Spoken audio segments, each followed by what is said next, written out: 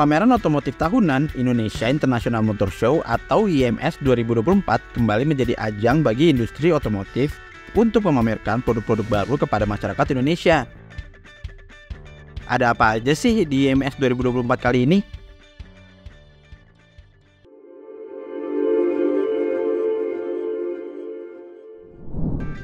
Halo Sobat The Fresh, Indonesia International Motor Show atau IMS 2024 adalah pameran otomotif yang digelar selama 11 hari. Dibuka pada tanggal 15 Februari hingga tanggal 25 Februari mendatang. Bagi sobat The Fresh yang tertarik melihat produk-produk otomotif, bisa banget berkunjung ke sini.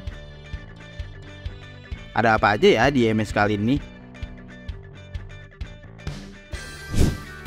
Berlokasi di Expo Kemayoran, IMS 2024 menawarkan pengalaman yang lengkap dengan menghadirkan berbagai macam fasilitas dan kegiatan yang menarik.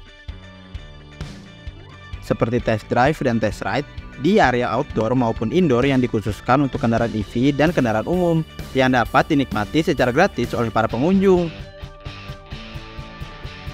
Gak cuma produk otomotif roda 4 saja, di IMS juga memamerkan berbagai macam produk otomotif roda 2 hingga industri kapal Menarik banget kan? Di IMS 2024 ini, Sobat The Fresh dapat menemukan 188 merek kendaraan. Dan 53 di antaranya merupakan brand roda 4 dan roda 2. Di ajang otomotif kali ini, banyak produk electric vehicle atau EV yang baru diluncurkan loh. Dua merek roda 4 yang baru debut dan menawarkan jajaran EV terbaru di Indonesia adalah BYD, dan VinFast. VinFast merupakan produsen mobil listrik asal Vietnam.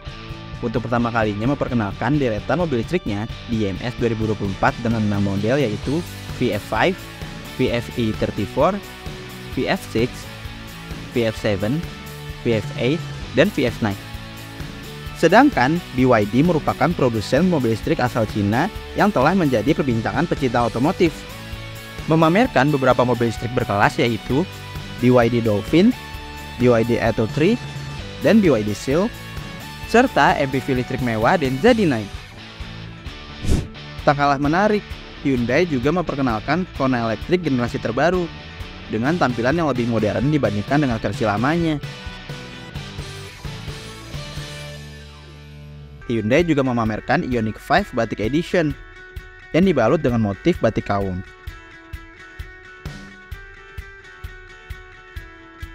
Selain itu, Hyundai juga merilis kereta Alfa dengan tiga warna yaitu White Matte, Black Matte, dan Silver Matte.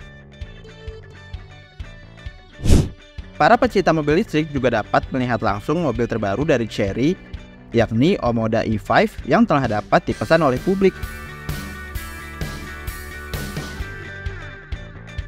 Nah, bagi penggemar mobil EV mungil seperti REV dan Bingo EV, Wuling juga turut memperkenalkan secara resmi produk terbarunya, yaitu Cloud EV.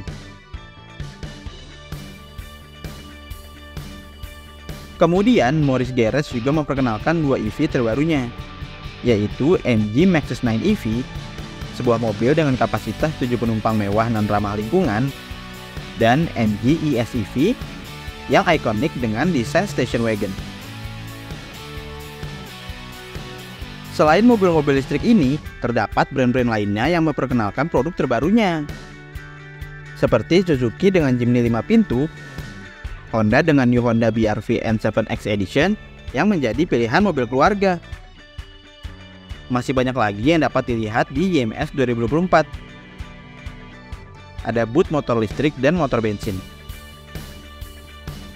Bahkan terdapat berbagai aksesoris roda 4 seperti velg mobil, dan aksesoris roda 2 seperti berbagai macam helm dan jaket.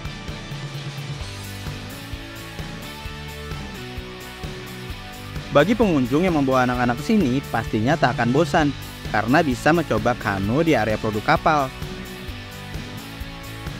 Sobat The Fresh yang ingin berkunjung ke IMS 2024 dapat membeli tiket langsung di tempat atau melalui laman resmi Indonesia International Motor Show.